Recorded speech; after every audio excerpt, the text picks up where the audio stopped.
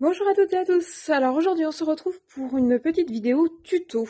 Alors en fait euh, ça fait plusieurs fois qu'en allant à Nose j'achète des die enveloppes. Donc ce type de, de die là.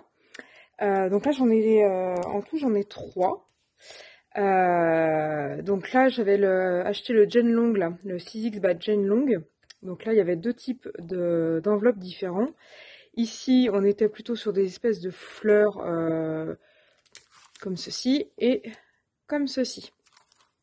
Donc là c'était 6X euh, by euh, Fit Olivia Rose et puis là c'était des 6X euh, classiques. Donc ça fait trois fois que j'en achète, j'ai fait des hauls dessus et puis j'ai certaines de mes abonnés qui m'ont demandé comment ça fonctionnait. Donc je vais vous montrer comment ça fonctionne.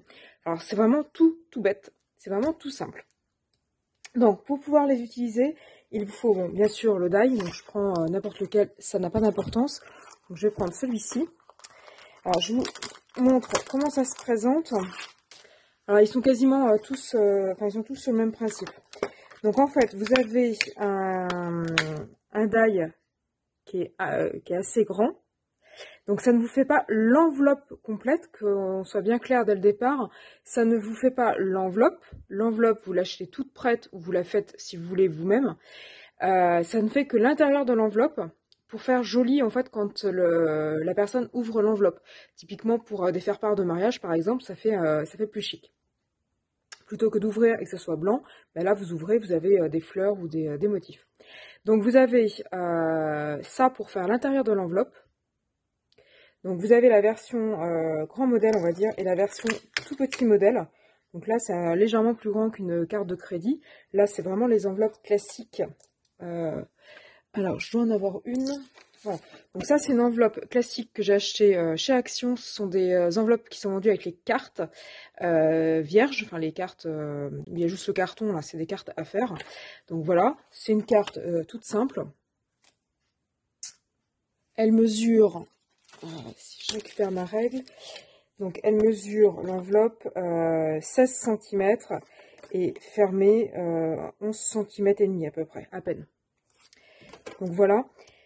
Euh, et puis ensuite, donc vous avez vos deux euh, gabarits d'enveloppe. Donc sur cette enveloppe-là, je vais prendre ce gabarit-là, parce que vous voyez, ça correspond pile poil à la taille.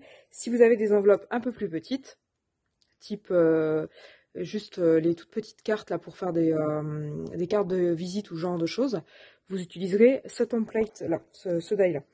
Et puis ensuite, donc vous avez deux, alors je vais pas arriver à les décoller, vous avez deux euh, die, alors ce ne sont pas des die pour faire des die cuts, ce sont juste des die pour venir faire des, des trous à l'intérieur.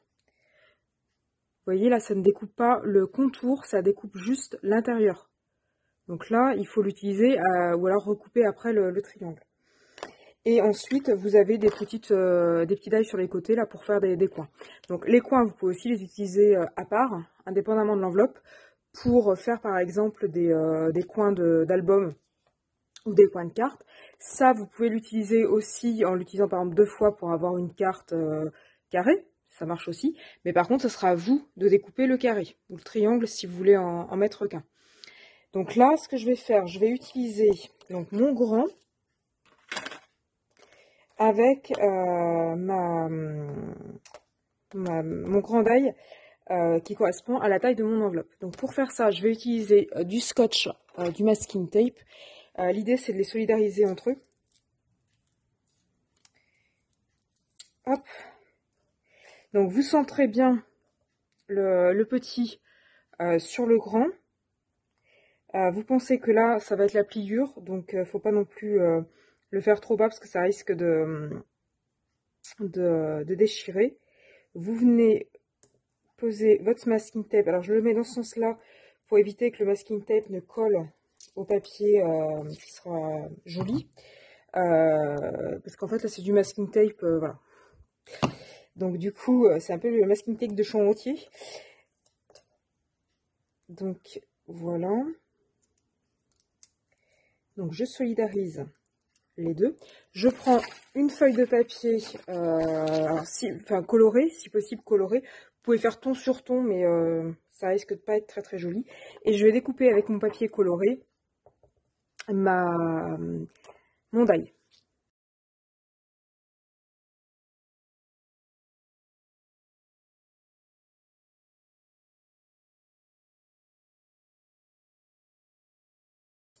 Donc voilà ce que j'obtiens. Donc là il faut un petit peu euh, faire le ménage.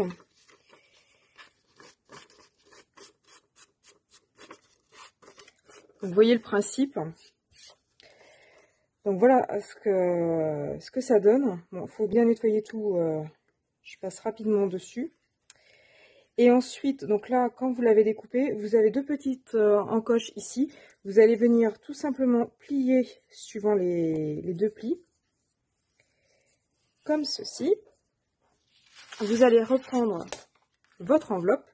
Vous allez venir coller ici avec de la colle, euh, euh, liquide ou de la colle euh, en stick ou de la colle souris, comme vous voulez. Donc vous venez coller le fond et là, et ça, ça va venir se coller comme ça sur l'enveloppe.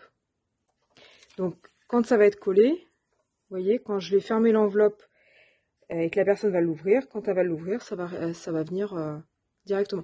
Donc vous voyez, ça ne fait pas l'enveloppe, mais par contre, euh, ça agrémente l'intérieur. Et en fait, ça, ça vient pour masquer, parce que s'il n'y avait que le triangle, en fait, là, vous verriez que c'est blanc, que ça a juste été rajouté. Tandis que là, en faisant comme ceci, ben, en fait, on a l'impression qu'il y a une double enveloppe euh, euh, jaune dans l'enveloppe blanche. Donc voilà comment s'utilise ces dailles. Donc suivant la taille, vous utilisez le grand gabarit ou le plus petit. Ensuite, vous venez mettre votre triangle de votre choix euh, au milieu. Vous le centrez comme vous le, voulez. Moi, j'ai tendance à pas centrer trop trop bas à cause justement du fameux pli ici, euh, pour pas euh, fragiliser au niveau de la pliure, qui va être soumise à, bah, justement au pliage et donc du coup à l'usure prématurée. Et puis ensuite, vous passez ça dans la moulinette. Vous faites attention parce que c'est pas forcément très très stable, mais quand un coup que c'est dans la moulinette et que c'est bien à plat, normalement, il n'y a pas de souci. Et ensuite, vous venez mettre ça dans votre enveloppe. Donc là, j'ai pas fini hein, de, nettoyer, mais voyez le, principe.